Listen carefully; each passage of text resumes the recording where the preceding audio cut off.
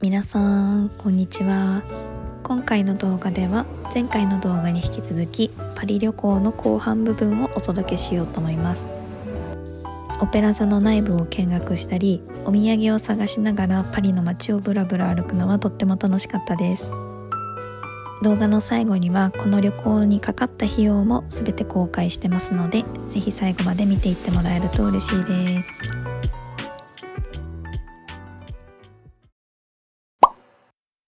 おはようございます。ホテルチェックアウトして10時からオペラ座の見学なんですがちょっと早いので近くの薬局の中を見てみようと思います。お薬がメインの薬局だったみたいで基礎化粧品系はあんまり置いてませんでした。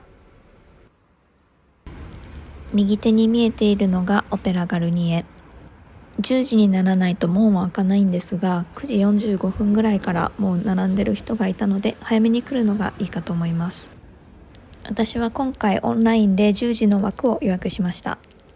オペラ座ではバレエを中心に演目が行われていますが演目を見るのではなくて今回のように内部だけを見学することもできます。ガイド付きのツアーもあるみたいですが私は自由見学のツアーにしました。わあもう綺麗な予感しかしない。見てください。このゴージャス感。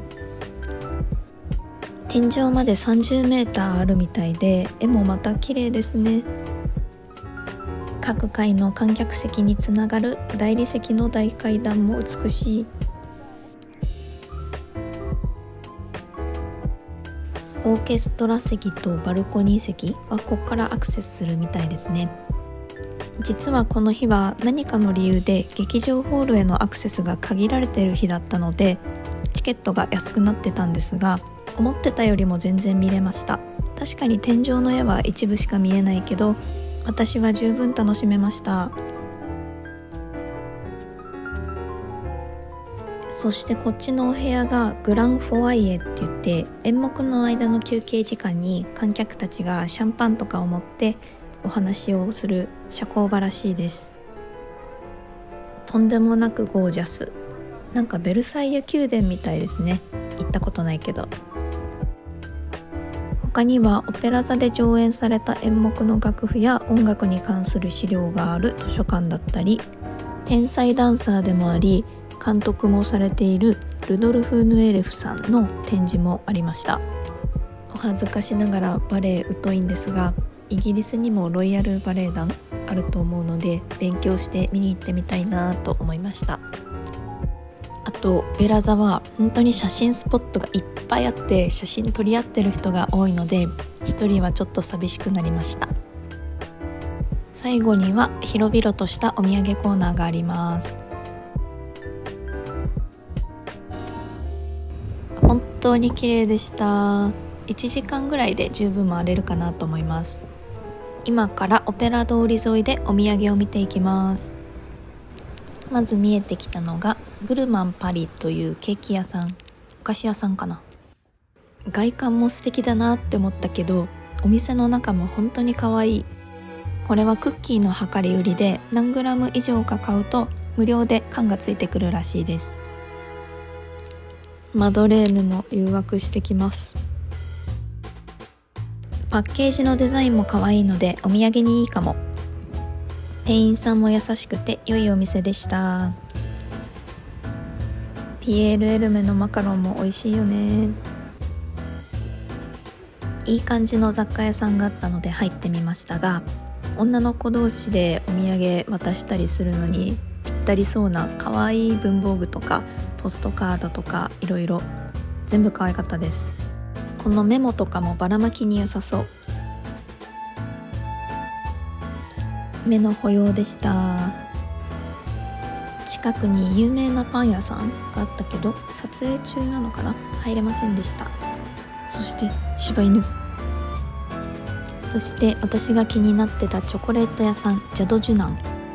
2022年の11月に有名なショコラティエのジャック・ジュナンさんの娘さんがオープンされたお店です。綺麗なお姉さんがシナモン味を試食させてくれてすごく美味しかったです。15個の詰め合わせを購入しました。フランスのスーパーといえばのモノプリに行ってみます。私買う予定がなくてもスーパーのお菓子売り場見るのめっちゃ好きなんです。ボンヌママンはウェイトローズとかイギリスのスーパーにも置いてますが断然こっちが種類多いです。モン・サン・ミッシェルにも売ってあったクッキーを発見。レモン味も美味しそうだけどプレーン買ってみます。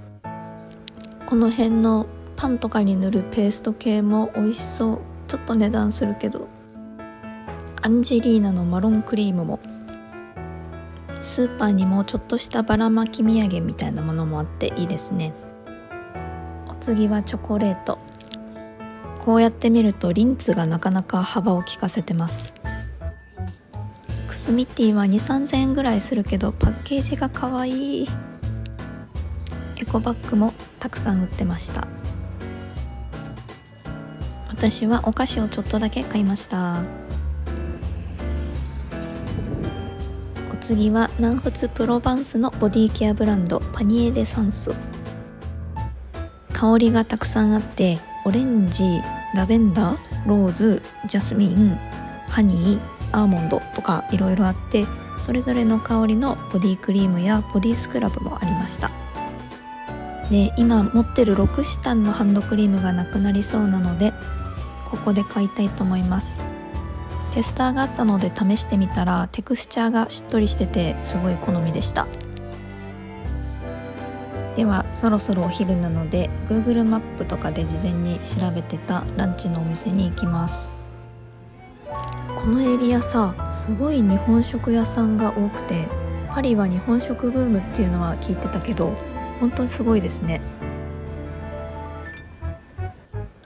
ほんと3軒に1軒ぐらい日本食。おにぎり屋さんだって並んでる。こちらが気になっていたビストロです。並ばずに入れたけどこの10分後ぐらいから急激に混み出したので早めの入店がいいかもです。私赤は酔っ払うので白ワイン。美味しそうな鴨のコンフィとまたまたエスカルゴ。オニオンスープの予定だったけど4時以降しかないらしいです。この旅でなぜかエスカルゴにドハマりしてしまって美味しすぎます。あとこの鴨のコンフィが本当にホロホロで柔らかくて美味しくて付け合わせのこのポテチも重たくなくてついてきてくれた野菜はありがとう。さっきのお店本当に美味しかったのでおすすめです。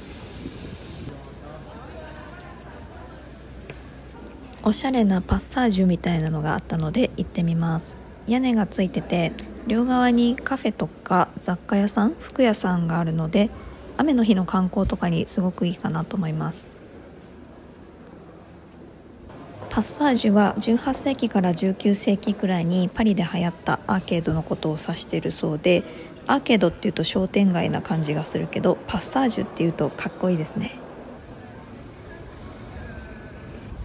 今日は6時台のユーロスターで帰るので夕方まで時間があるんですが気になってる食器屋さんがあるのでルーブル美術館の方に向かおうと思います。今のところパリは時間帯や入る道さえ間違えなければそこまで危険な感じはしません。ハンドメイドで作られた真っ白で美しい陶器のお店アスティエ。日本でもとっても人気ですよね。器好きな方にはたまらない空間だと思います。でもお値段は結構仰天します。陶器だけじゃなくてキャンドルやお香立てもありました。神戸を発見。この奈良ってあの奈良かな？すごい可愛かったけど冷静になったら何も買えなかった。どうしても欲しくなったらまた来ようと思います。ルーブル美術館手前のまっすぐな道に来ました。この通りはお土産屋さんがいっぱいあったのでお土産も買いました。大学生の時に来たルーブル。すっごく懐かしい思い出です。今回はこのピラミッドだけ拝んで帰ります。最後にお土産のワインを買います。このニコラっていうお店はフランスの大手チェーンのワインショップらしいです。ここで店員さんに教えてもらった白ワインを買いました。ホテルに荷物取りに行ったらあれってモンマルトルかな？ここから見えるんですね。早めに北駅周辺に行ってどっかカフェで時間潰そうかなと思います。いいカフェがなくって結局駅内のプレタ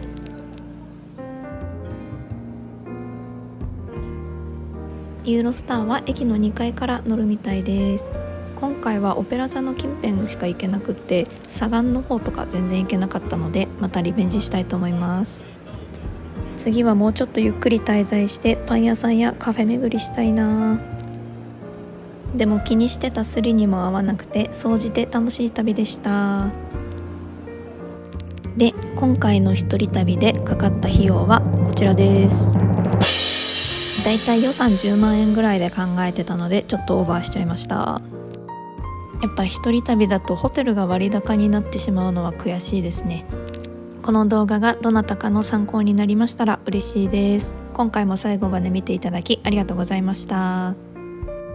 よろしければ高評価やチャンネル登録もよろしくお願いします。ではまた次回の動画でお会いしましょう。